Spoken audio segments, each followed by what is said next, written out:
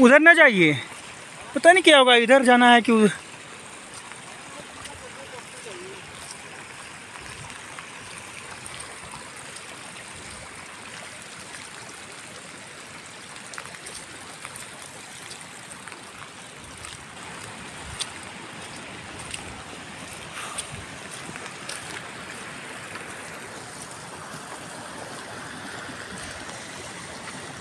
आ जाओ भैया। शेर भैया मिलेंगे तो चाय पी लेंगे, भालू मिलेंगे तो शहद दे लेंगे, ठंड की जैकेट की आवश्यकता ही नहीं पड़ेगी।